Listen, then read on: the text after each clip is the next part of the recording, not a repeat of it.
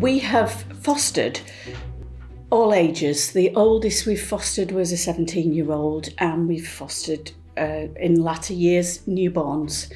So we have seen children onto long term foster care, which um, two boys we had, they were with us for nearly two years, and you would think that would be heartbreaking.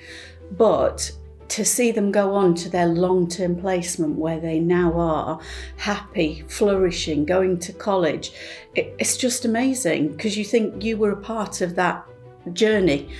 And um, for children that have gone to adoption, yes, if you have a newborn baby and you have that baby till it's 13 months old, it, it feels like it's your baby. However, I've got three children of my own. I'm very happy. And to see that child go to someone who can't have their own children, goodness me, that's the best feeling in the world.